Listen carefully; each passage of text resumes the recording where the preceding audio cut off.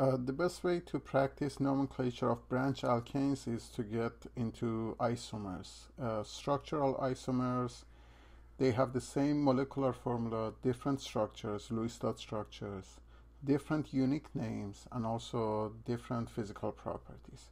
So let's go after heptane.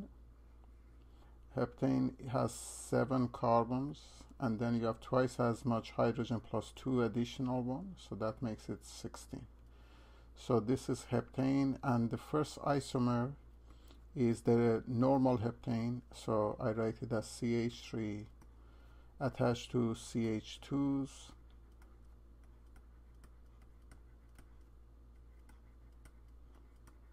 Make sure I wrote 7, 1, 2, 3, 4, 5, 6, 7. So this is heptane.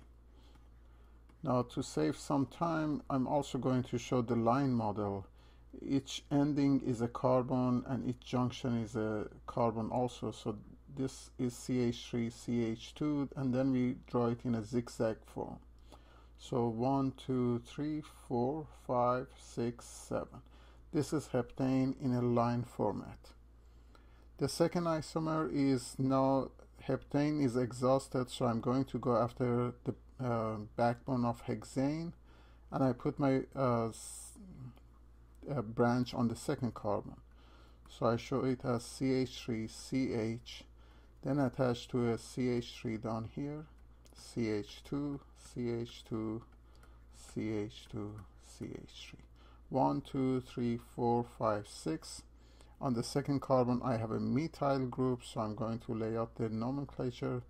2 methyl, last name hexane and it's all in one word. Now the line representation was easier, but let's just get used to it. One, two, three, four, five, six.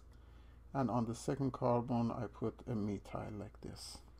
Hopefully you're getting used to it. Soon I just do line structure. The third isomer I'm going to do is move this methyl to the third carbon and I'm totally producing a new structure. CH, CH3, CH2, CH2, CH3. Now this time I have 1, 2, 3, a methyl group and hexane. So this is 3 methyl, hexane. Then the line structure should be 6 of this, 1, 2, 3, 4, 5, 6. And you have a methyl group. Now uh, just remember you cannot put it on the fourth one and call it 4-methyl because then the numbering comes in the reverse and it becomes 3-methyl again. So the fourth isomer I'm going to, to make is now there is no possibility for hexane, so let's just shrink it further and have a pentane. Now let's go after line models. So 1, 2, 3, 4, 5, 1, 2, 3, 4, 5. You have two more carbons left, so we can go after, put both of them on the second one. One up here, one down here. So this is 2 comma 2 dimethyl pentane. It is an isomer of heptane because you still have 7 carbon 16 hydrogen only.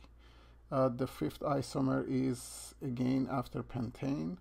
Now I can put it on the second carbon and the third carbon. A methyl and a methyl. This is 2 comma 3 dimethyl pentane. The sixth isomer is still on pentane, one, two, three, four, five, and you can have on second one and the fourth carbon, so this becomes 2, 4, dimethyl pentane. Now, these are totally different structures with totally different uh, properties.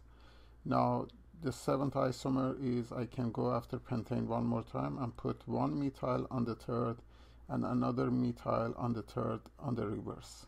So this is 3,3 dimethyl pentane.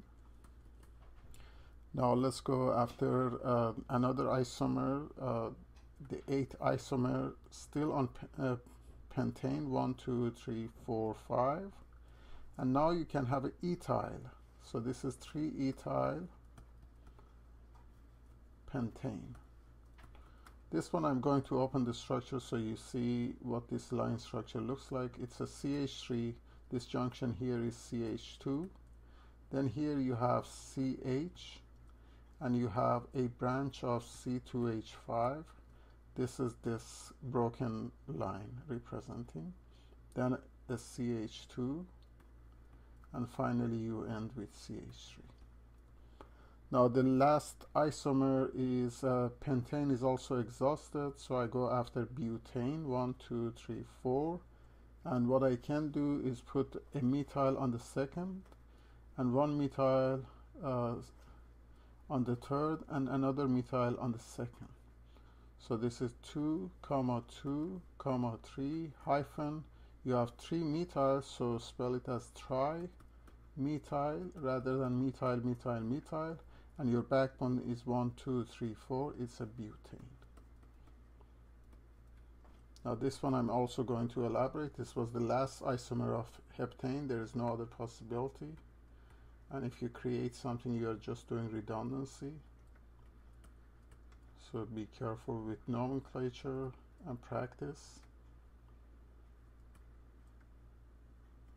I put CH3. This CH3 I put in parentheses and then I end it with CH3. So heptane has nine isomers. You practice it as well and become expert in nomenclature of alkanes.